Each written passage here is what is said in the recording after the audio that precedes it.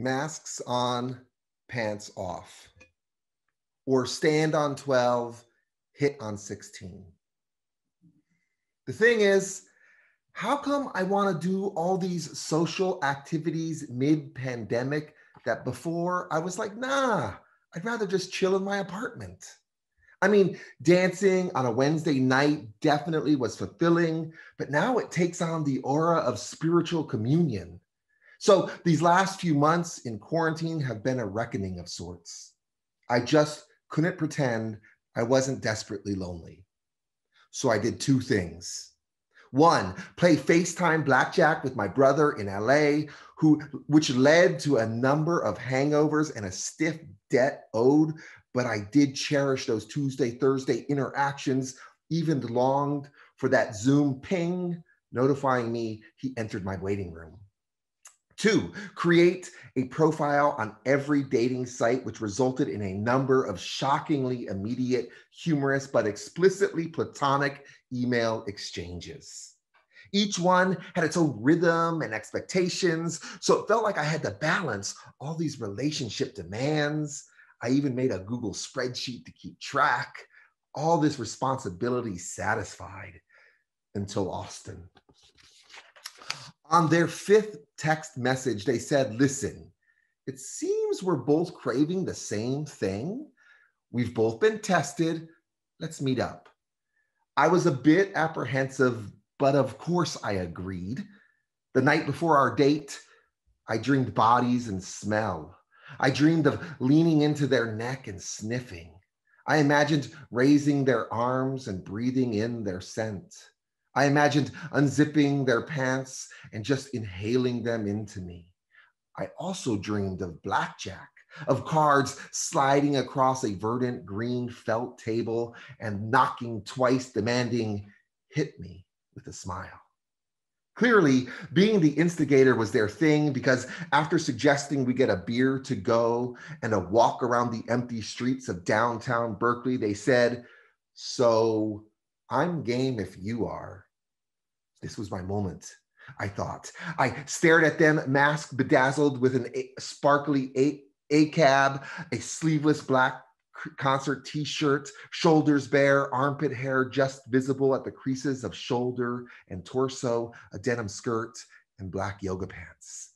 I stepped to them, pulling my mask down below my nose, ready to breathe them in. They stepped back. No touching, but let's drive to the Kittredge parking garage. As I pulled up to their to their pale blue Subaru, I revved my Accord, a satisfying purr. I saw their car had a kid seat in the back. The self automated garage had a good number of cars on level one and two, but level three had just a smattering. Enough cars for us to not look too suspicious. They raced ahead to the corner parking spot and backed into it, waving for me to do the same, shouting out their window to leave six feet distance between. We killed our engines, got out, and stood apart. I waited. They pressed their legs together and slid down their yoga pants. The first and only time they touched me when they reached out to find balance as each foot pulled free. They said, Listen, get in your back seat and keep your window up, but crack it so you can hear me. They pulled up their skirt and slipped underwear down, nothing fancy, a purple cotton thing, but I stared like they were lacy and all for me. They balled them up and tossed them into their back seat. I watched it land perfectly in the child car seat. They growled, Go, and I went. I got in the back seat. I turned uh, to face them. I cracked the window down and they slipped off the elastic around one ear. It was the sexiest thing I've seen, mask dangling their mouth full of lip, full lips and teeth, white and square. They said, lean back and spread your legs for me. I want to see everything.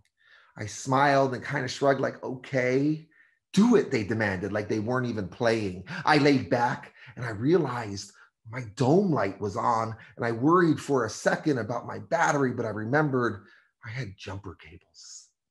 I yanked my pants off. I placed my feet on the edge of the windows. I spread myself open. I felt vulnerable and on display, like being inspected for approval. My body, though, felt new.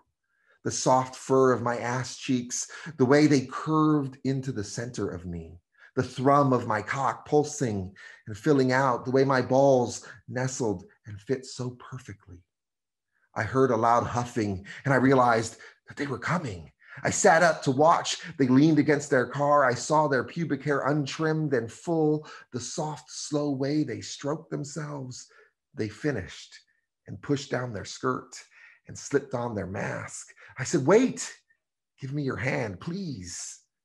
They stepped to the window, and three delicate fingers slid into my car. I moved my face right in front of them and sniffed in their scent like it could save my life. I closed my eyes in appreciation. Then I heard her, their car start and the squeal of rubber on painted cement as they drove off. No matter, I thought. That night, playing blackjack, I won hand after hand, hitting confidently on 16 and never busting on 12. I found my way to 20 or 21 almost every time. My brother said, Damn, what happened to you? I said, I guess I'm feeling lucky and not so alone.